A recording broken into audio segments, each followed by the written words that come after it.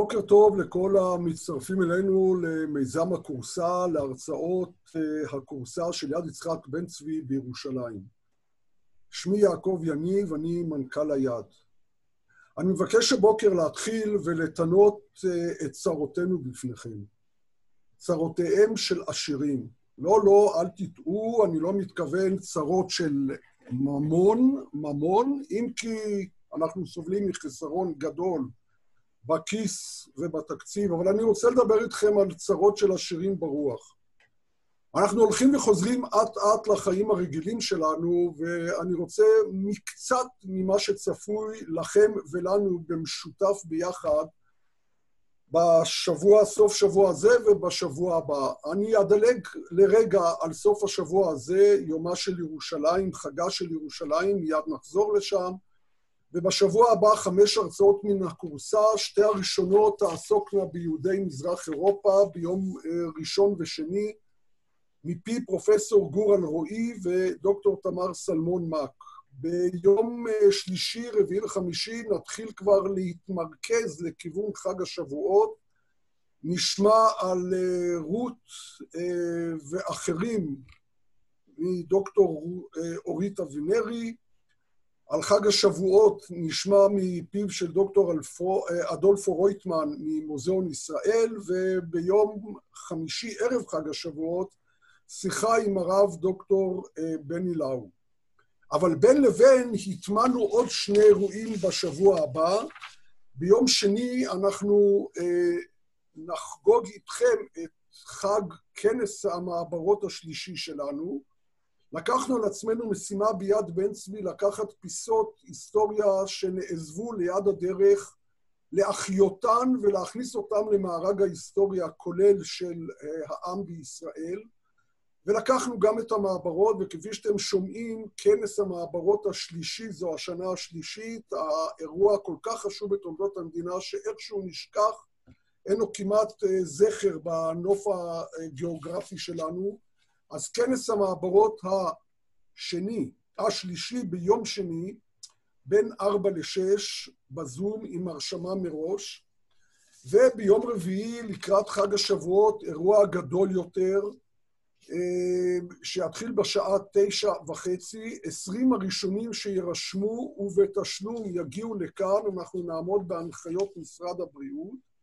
התקפות נכון להיום. האחרים יוכלו להצטרף בזום בחלקים אחרים, ונחשוף לכם גם אירוע מסעיר שנחשף לאחרונה כאן בצריף הנשיא, דבר שלא ידענו אותו ממחמוני המקום, מטמוני המקום, ואנחנו מגלים כל מספר שנים דבר חדש, באמת משהו מאוד מרתק, כולל הרצאה ושיחה תהיה עם אה, אדם שלא אחשוף מיהו מחו"ל. לצורך העניין. ואני חוזר איתכם לסוף השבוע הזה, אנחנו אה, עם שלוש הרצאות לכבוד יום ירושלים. מחר הרצאת הזום בבוקר תעסוק בעליית יהודי אתיופיה ובכמיהה הגדולה שלהם לירושלים, מפיו של הרב דוקטור שרון שלום.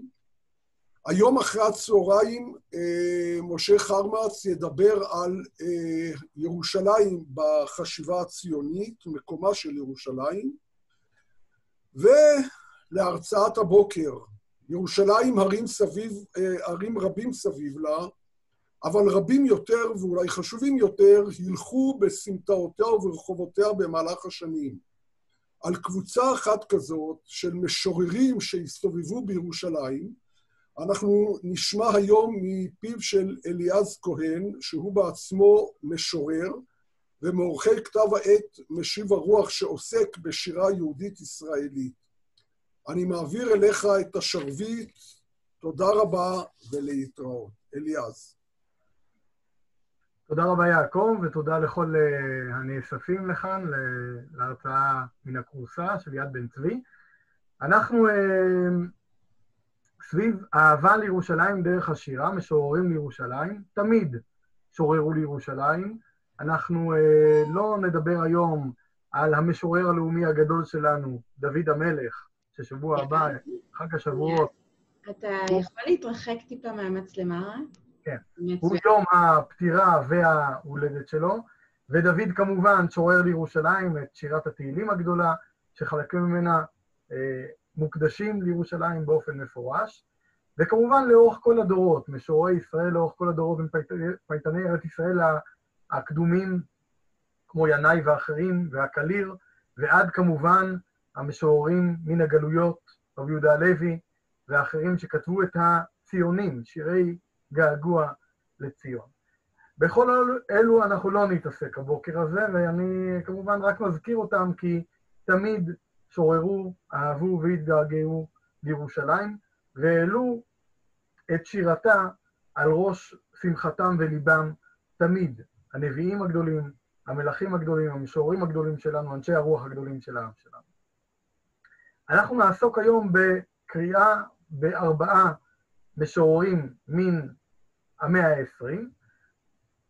הם נכללו בין עשרות שכללנו אנחנו בחבורת משיב הרוח באנתולוגיה שהוצאנו, שנקראת ציפור האש, אנתולוגיה שהמחשבה הראשונה שלה הייתה יחד עם דוקטור צביקה צמרת, אה, בשבתו אה, כמנכ"ל יד בן צבי, יחד בעצם חלמנו להקים את המרכז לשירת ירושלים, שאולי גם יקום ביום מן הימים, ועמלנו על האנתולוגיה הזו, ציפור האש, שהיא בעצם אחות צעירה לציפור האבן, האנתולוגיה שערך חיים באר והופיעה בראשית שנות ה-80. אבל כל כך הרבה השתנה בירושלים בעשורים הללו, מהאסופה הראשונה, שאפילו מפתיע לחשוב על זה, שמעטות כל כך האסופות לשירת ירושלים, שהיא כאמור אחד הנושאים הגדולים בשירה היהודית והשירה העברית, וגם בשירת התחייה והשירה המתחדשת. אז בשנת 83' הופיעה ציפור האבן, בשנת 2015, אחרי שנים מרובות של עמל, הופיעה אצלנו במשיב הרוח ציפור האש. אפילו מן השמות אפשר לשמוע כמה מן התמורות אולי שרצינו להביא מתוך שירת ירושלים, מציפור האבן, מטאפורה מופלאה מצד עצמה, לציפור האש, שמזכירה לנו אולי גם את עוף החול, אבל גם אלמנטים אחרים שקיימים בירושלים, מעבר למוטיבים של האור, שאנחנו גם נעסוק בהם בשירים של המשוררים שאספנו לכאן היום. אז בזמן הקצר שעומד לרשותנו, אנחנו נתבונן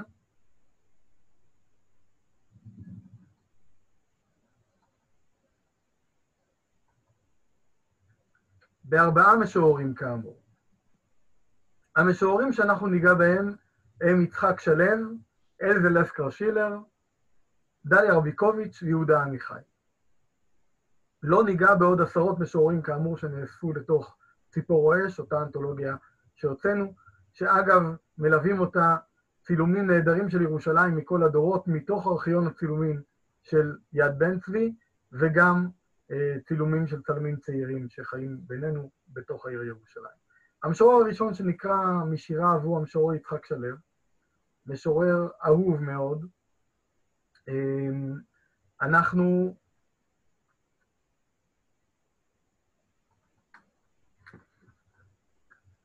יודעים שיצחק שלו כתב עשרות רבות של שירים לעיר ירושלים.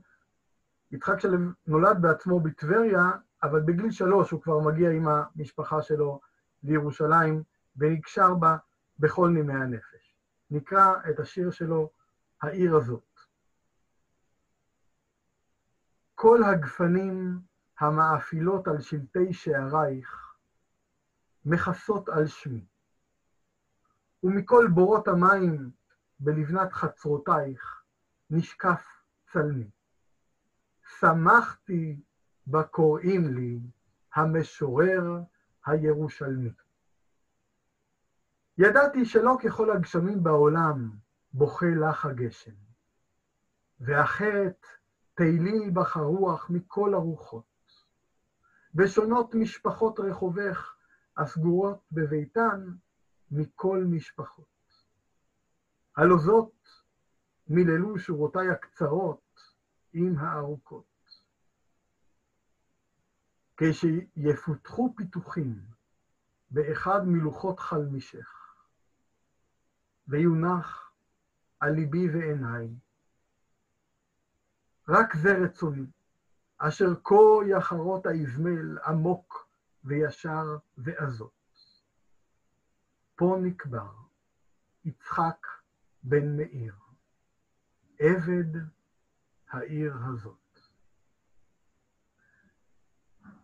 אז מעבר להתרגשות הגדולה שהשיר הזה מעורר, בישירות, בפשטות, בפנייה אל ירושלים, מהשורה הראשונה עד השורות האחרונות, וכמובן הכתובת הזאת, פ"נ, פה נקבר, יצחק בן מאיר, עבד העיר הזאת, זו צוואתו של המשורר. יצחק שלו, שהיה מורה, מסאי, סופר ומשורר גדול, רוצה שיכתבו על מצבתו עבד העיר הזאת. אנחנו נחזור אל הבתים הראשונים של השיר. העיר הזאת, לכאורה תיאור של הרחקה. לפעמים אנחנו משתמשים במינוח הזאת כדי להרחיק. אבל כל מה שעושה יצחק שלם בעיר הזאת, בשיר הזה, העיר הזאת, שמוקדש כולו לירושלים, בפנייה רטורית ישירה אל ירושלים כנוכחת, כאהובה נוכחת, כישות נוכחת, היא קרבה ובידול, כמעט, הייתי אומר, כשטר קידושין. אמנם הוא חותם בסוף עבד, אבל הוא כותב את השיר כמאהב, כאוהבה הגדול של ירושלים, כבן העיר הזאת. ויצחק שלו למעשה בבית הראשון, אנחנו נראה, כותב לנו את הקיום שלו, הנוכח והנסתר, דרך העיר הזאת, דרך הטבע של העיר הזאת ודרך הטבע הדומם של העיר הזאת, דרך הגפנים, דרך האבנים, דרך בורות המים. נחזור אל הבית הראשון. כל הגפנים המאפילות על שלטי שערייך מכסות על שמי. כאן אנחנו נראה את הצל המכסה, את הקיום של שמו ושל זכרו של האיש והמשורר יצחק שלו, דווקא חבוי, סמוי, מתחת לגפנים שמאפילות על שלטי השערים של ירושלים. כלומר, יש פה הסתרה, מתחת להסתרה, אבל מתחתן פועם שמו של המשורר, מהותו של המשורר. ומכל בורות המים בלבנת חצרותייך, כאן אנחנו כבר מרגישים יותר את המים והאור הלבן, לא האופל, נשקף צלמי. כלומר, בכל מקום שבו יביט המשורר, הוא יראה את צלמו. כמובן, בורות המים של ירושלים, המאפיינות את חוסר המים בעיר הזאת, שהיא על גבול, על הגבול בין המזרע לישימון, על ספר המדבר. בכל מקום שאדם ייתן את מבטו, ישתקפו אליו פניו. אבל כמובן, המשורר לוקח את זה כסימבול, כסמל. שמחתי בקוראים לי המשורר הירושלמי. אנחנו צריכים לזכור שיצחק שלו מתבדל במשך עשרות שנים כמשורר ירושלמי. רוב הסצנה, רוב הזירה העברית של השירה העברית המתחדשת מתקיימת בתל אביב. למעשה, רוב אותה סצנה לא בוחרת בירושלים. חלקים גדולים ממנה אפילו מתנכרים לירושלים, בזים לירושלים. יצחק שלו, עיקר גאוותו היא בקוראים לו המשורר הירושלמי. ואחר כך בבית הבא הוא מבדל דווקא את הדברים הלכאורה אוניברסליים שקיימים גם בעיר ירושלים, הוא מבדל אותם באופן חושי, חושני, תחושתי, השתייכותי, זהותי. ידעתי שלא ככל הגשמים בעולם בוכה לך הגשם. המטאפורה הזאת של הבכי, בכי השמיים, הופך לירושלים, בירושלים, לתופעה מיוחדת, תופעה נבדלת. ואחרת, תהיליל בך הרוח מכל הרוחות. ילדת הרוח בירושלים היא נבדלת. ואפילו, הדבר שהוא לכאורה אולי אוניברסלי ביותר, המשפחה. בית ומשפחה שונות משפחות רחוביך סגורות בביתן מכל משפחות. הוא מעיד על עצמו שבכל שורותיו הקצרות עם הארוכות הוא מנסה לבדל, הוא מנסה לעמוד על ייחודה של ירושלים. ולכן, כיש שיפותחו פיתוחים, אנחנו מגיעים לבית השלישי, שהוא בעצם בית שמתאר את מותו, את סופו של המשורר בעיר ירושלים. כשיפותחו פיתוחים באחד מלוחות, מלוחות חלמישך, לוחות השיש של המצבה, והוא נותן בעצם כאן צוואה מדויקת למלטשים ולרושמי כתובות המצבות. ויונח על ליבי ועיניי אותו לוח, אותה אבן מאבני ירושלים, אותו, אותו לוח חלמיש מאבני ירושלים, רק זה רצוני, אשר כה יחרות האזמל עמוק וישר ועזות. פה נקבר יצחק בן מאיר, עבד העיר הזו. בכוונה קראתי פעמיים את השיר, כי אני חושב שכל שיר כדאי לקרוא אותו יותר מפעם אחת. אבל השירים של יצחק שלו הם מתאים בפשטותם, בסגנונם הנהיר, הפשוט, ולכן כדאי לצלול דווקא אל השירים הפשוטים ולכל שיר, כאמור. כדאי לצלול יותר מפעם אחת ולראות את מערכת היחסים כפי שהוא שוזר אותה, הסמויה והגלויה, אהבה מכוסה ואהבה פתוחה. אני רוצה לגלות לכם שעל קברו של המשורר יצחק שלו, שנפטר בשנת 1992, בעיר ירושלים, חקקו בניו וביתו את שלוש המילים הנפלאות הללו. אולי מהמרגשות ביותר שמישהו כתב וייחס את עצמו לעיר ירושלים. פה נקבר יצחק בן מאיר, עבד העיר הזאת, כך נכתב על מצבתו של המשורר יצחק שלם. אנחנו מכאן עוברים למשוררת שלא בחרה בירושלים כמקום מגוריה, אבל בחרה בירושלים כמקום לימודיה בשנות ה-50, ותמיד תמיד התגעגעה לירושלים, וקיימה עם העיר הזו מערכת יחסים מורכבת מאוד. זו המשוררת דליה רביקוביץ'. מי אתה הר גדול? כל השיר הזה של דליה רביקוביץ', אנחנו נאלץ לקרוא אותו רק פעם אחת, אבל אתם מוזמנים לקרוא ולחפש את השיר, לקרוא אותו יותר מפעם אחת.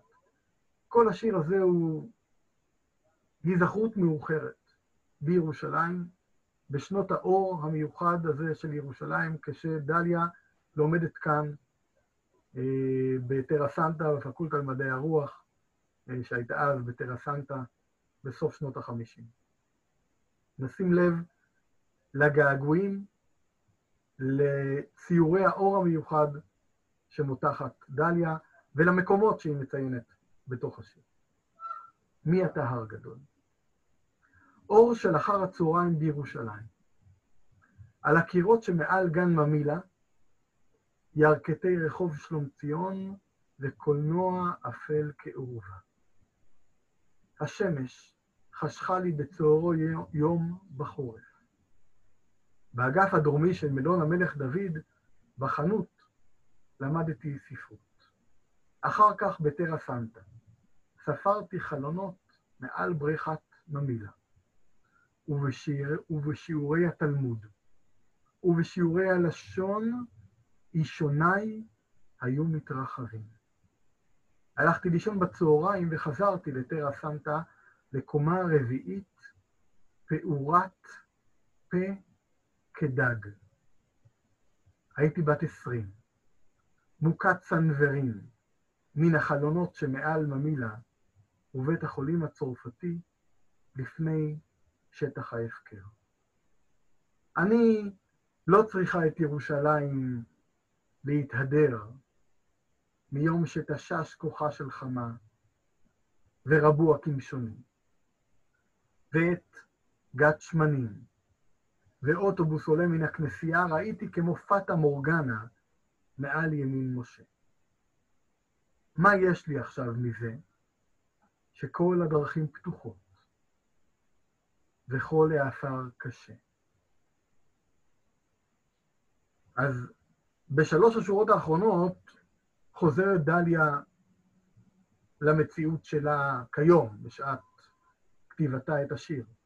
אבל רובו של השיר מחיה לנו את שנות ה-20 של בחרותה ואת שנות החמישים של ירושלים, ובעצם את שנות הנצח של ירושלים המתחדשת. ואת האור המיוחד שמלווה ממש מהמילים הראשונות, מהשורה הראשונה של השיר אור של אחר הצהריים בירושלים, ועד ממש המילים האחרונות של השיר, עם אותו חזיון פטה מורגנה, מעל ימין משה.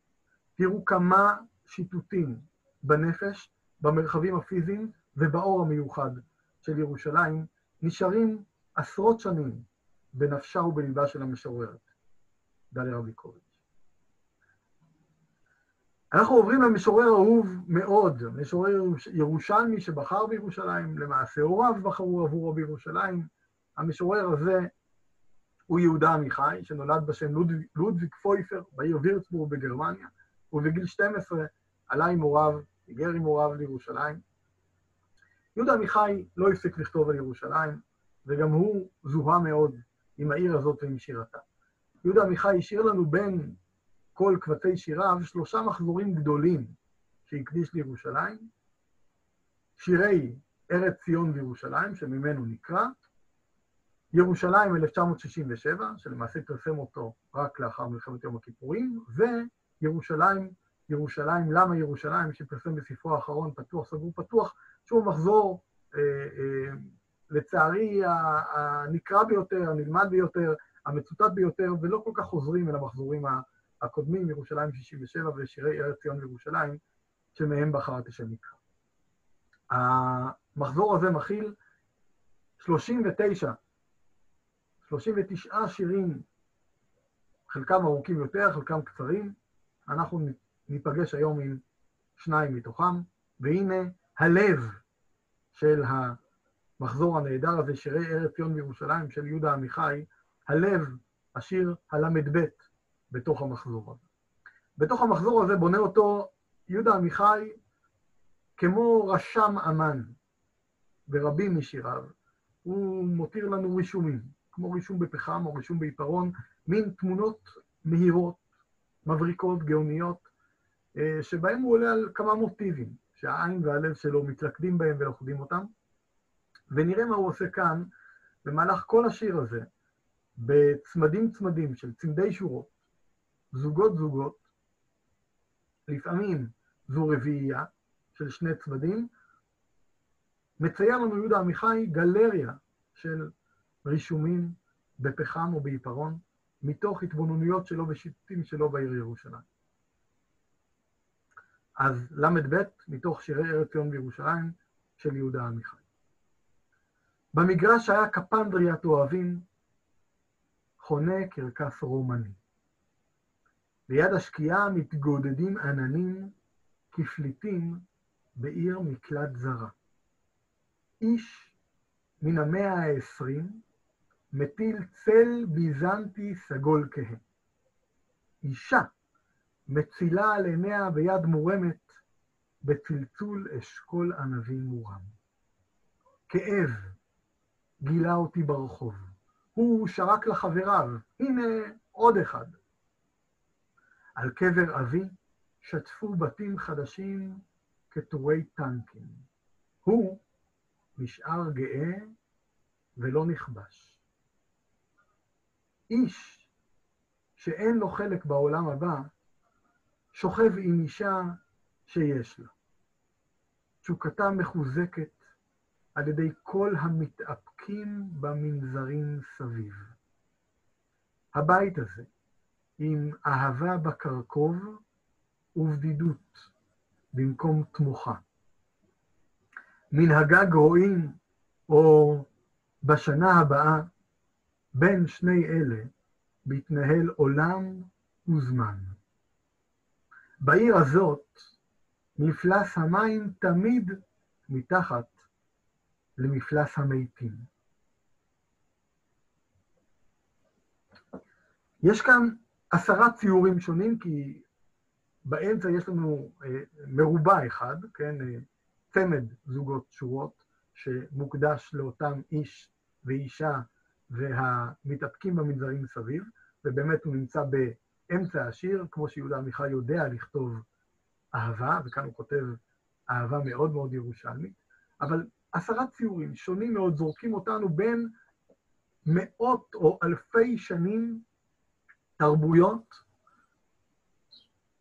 סימבולים, מטאפורות, פרסוניפיקציות, כלומר האנשה של דומם או תכונה, כמו הזוג הזה, כאב גילה אותי ברחוב, הוא שרק לחבריו, הנה עוד אחד, כמו חבר'ה שנפגשים, רק החבורה הזאת היא חבורה של כאבים. השיר הזה, בעיניי הוא מהמבריקים שנכתבו על ירושלים, לא רק בשירתו של עמיחי, אלא בשירה העברית והשירה האוניברסלית בכלל. אם היה לנו זמן, היינו פשוט פותחים כל ציור מעשרת הציורים הללו ורואים מה עשה כאן יהודה עמיחי, אבל השיר, השיר לפניכם, צלמו אותו בנייד, תעיינו בו במהלך היממה הזאת של יום ירושלים ובכלל.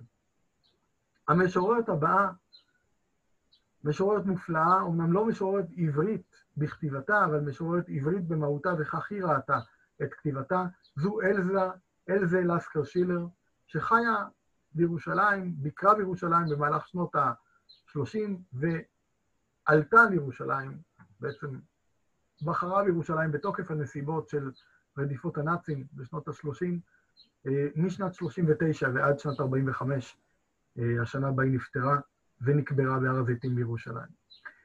ואלזה לסקר שירלר כתבה שירים מיסטיים, אקספרסיוניסטיים, ייחודיים, הייתה האישה כמעט היחידה בתנועה האקספרסיוניסטית של השירה העברית והשירה הגרמנית, השירה העולמית בכלל.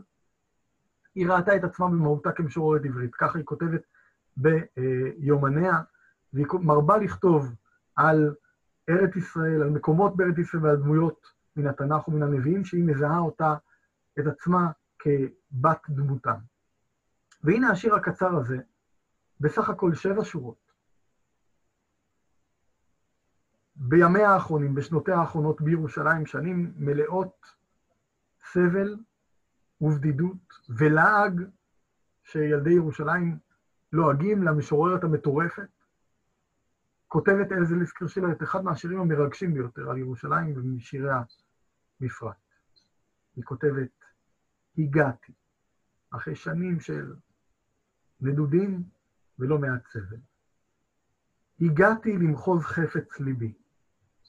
שום קרן אור לא מוליכה עוד מכאן. אני מותירה מאחוריי את העולם. מתעופפים הכוכבים, ציפורי זהב. מניף מגדל הירח את החשיכה.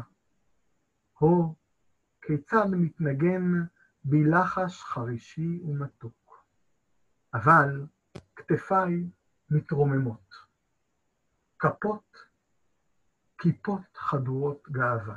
המגדלים והכיפות של ירושלים, שמארחת אותה למעשה בשנותיה האחרונות, המגדלים והכיפות הללו שמתאחדים גם עם גופה שלה, עם צווארה, עם כיפות כתף, כתפיה, כמו שהיא כותבת כאן, הם הנוף שבה מוצאת אלזה לסקרשילר את מנוחתה האחרונה ואת מנוחת הנפש שלה. הגעתי, הגעתי למחוז חפץ ליבי. האור המיוחד של ירושלים נמצא בתוכה ומקרין מליבה עד ציפורי הזהב של הכוכבים ברום, בשמיים, שמאירים את אותה חשיכה. זו ירושלים של אלזלס קרשילו של השנים האחרונות שלה. וממש ממש בדקה האחרונה שלנו. נקרא יחד את השיר האחרון מתוך אותו מחזור מופלא, שירי ארץ ציון וירושלים, ש... נפגשנו בלב שלו, בל"ב.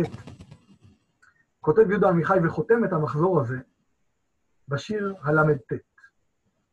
וזה כמובן שיר עם קריצה שובבה ממזרית מאוד של יהודה עמיחי, שבטעות נחשב כמחלן הגדול של השירה העברית, בעיניי הוא המקדש האלטרנטיבי של האלוהות, של העברית ושל ירושלים, וכך הוא מקדש אותה באופן אלטרנטיבי בשיר הזה, ל"ט.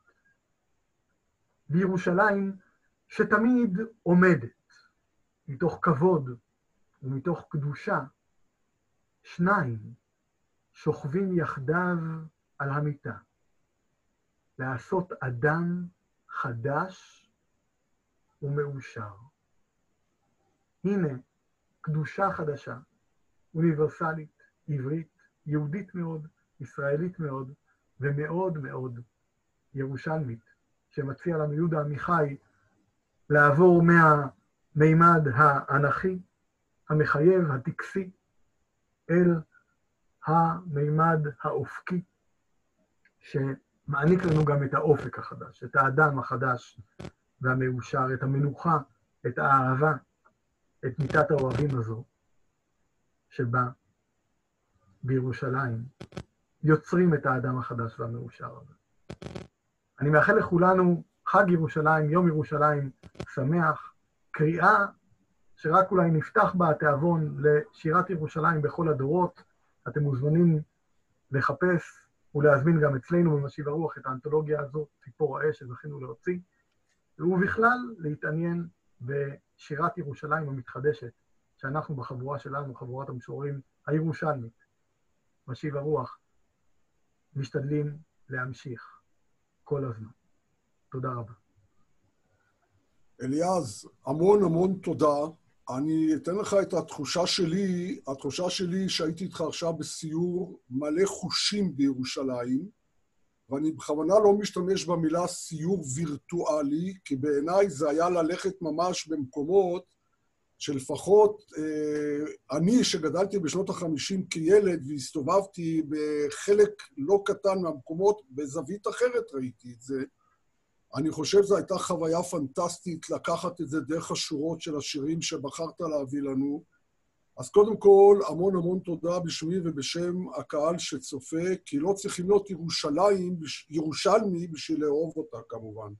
נכון. אז כולנו אוהבי ירושלים, עצם זה ש-300, אה, למעלה מ-300 איש ישבו וקראנו ביחד את שירת ירושלים, אז מראה לך כמה ירושלמיות מפקה במקומות אחרים ונוספים.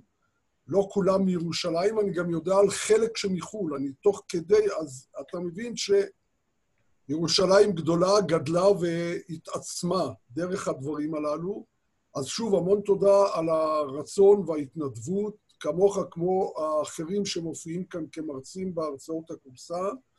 אני רוצה להזכיר לכולם אה, שאנחנו ניפגש היום בשעה חמש לדבר על ירושלים בחשיבה ה...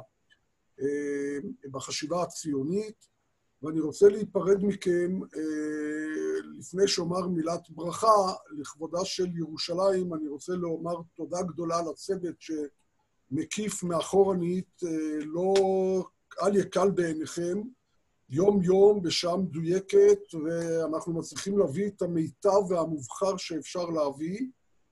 אז תודה גדולה, אני לא אמנה עכשיו את שמותיהם, וברכות לירושלים, וחג שמח לכולנו, אם אפשר לומר, ובעיקר ובמיוחד בתקופה הזאת, המון בריאות. תודה רבה שוב, אליעז. תודה, יעקב, ואמן לכל הברכות. תודה, תודה. כל טוב לכולם. שלום, שלום. תודה.